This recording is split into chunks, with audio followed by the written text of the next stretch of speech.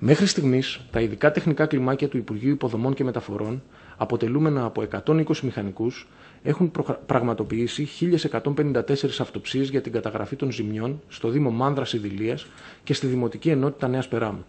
Συγκεκριμένα, στο Δήμο Μάνδρας Ιδηλίας διενεργήθηκαν 925 αυτοψίες συνολικά.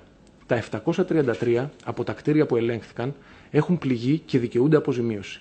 Από αυτά, τα 588 είναι κατοικίες, 67 επαγγελματικοί χώροι, 5 δημόσια κτίρια και 73 αποθήκες και υπόγεια. Στο Δήμο Μεγαρέων και στη Δημοτική Ενότητα Νέας Περάμου διεξήχθησαν 229 συνολικές αυτοψίες.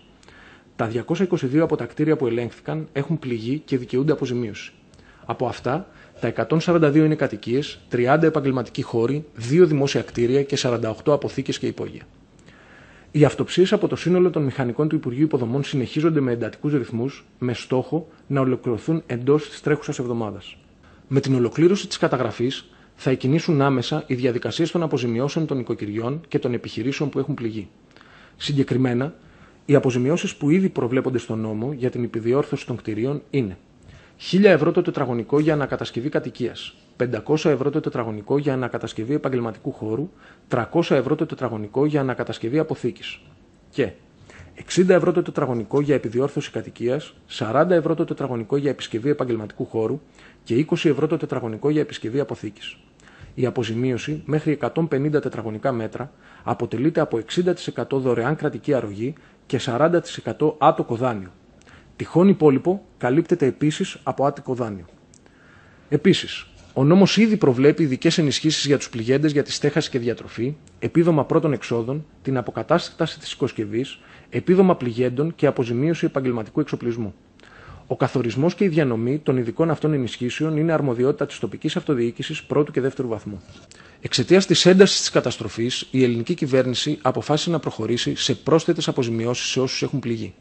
Συγκεκριμένα, Όλα τα νοικοκυριά που σύμφωνα με την καταγραφή των τεχνικών κλιμακίων του Υπουργείου Υποδομών στις περιοχές της Δυτικής Αττικής έχουν υποστεί ζημιές, θα λάβουν επιπλέον έκτακτη ενίσχυση 5.000 ευρώ, ενώ οι αντίστοιχες επιχειρήσεις θα λάβουν έκτακτη ενίσχυση 8.000 ευρώ.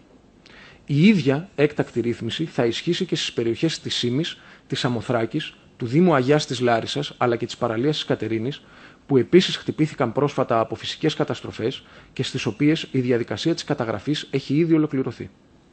Η διανομή της έκτακτης ενίσχυσης θα γίνει άμεσα από τις υπηρεσίες του Γενικού Λογιστηρίου του κράτους, όπως θα ορίζεται στη σχετική τροπολογία που θα κατατεθεί και θα ψηφιστεί σήμερα στη Βουλή. Η έκτακτη ενίσχυση θα είναι ακατάσχετη και αφορολόγητη. Το Υπουργείο Εργασίας έχει ήδη ανακοινώσει άμεσα μέτρα ανακούφισης των επαγγελματιών και των επιχειρήσεων που επλήγησαν από τη φυσική καταστροφή στη Δυτική Αττική και στη Σύμη, με τη δέσμευση πως αντίστοιχα μέτρα θα λαμβάνονται και σε κάθε άλλη περιοχή στην οποία τυχόν προκύψουν ανάλογα ακραία καιρικά φαινόμενα.